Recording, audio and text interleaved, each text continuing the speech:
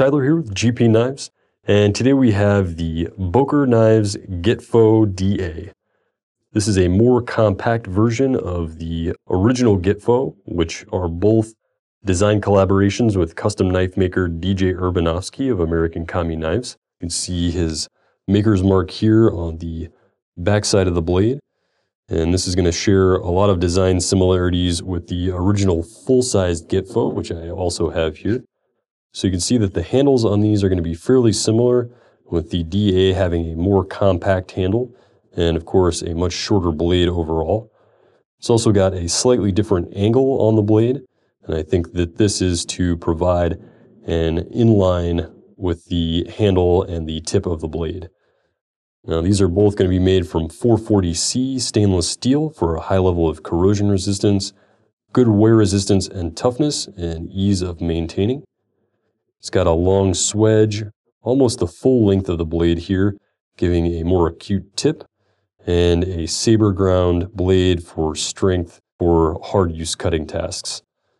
As you can see, there's jimping at several points on the blade, providing a very secure grip in a variety of positions. And you've got a ring here on the back for extra security as well. And then this impact point here for using the knife as an impact device. Uh, this knife is designed for carry via a Kydex neck sheath that is included. And you can see that here. Provides very secure carry of the knife and is also very compact and easy to carry.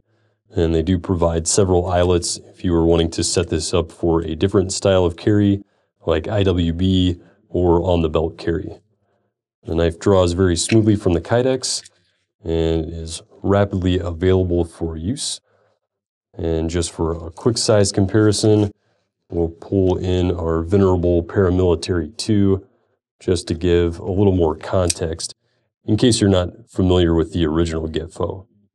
So you can see here that this knife is very compact, almost the same size as the Paramilitary 2 in the closed position. So this knife is going to carry exceptionally well and very discreetly. It's also very useful for utilitarian tasks as well, making this a multifaceted tool. Again, this is Tyler with GP Knives and the Boker Plus Gitfo DA you can check it out now at gpknives.com. Thanks for watching and stay sharp. If you like what you've seen today and you'd like to see more, check out the rest of the videos on our YouTube channel, like the video below, and click the icon at the bottom right to subscribe to our YouTube channel feed for updates on all new videos.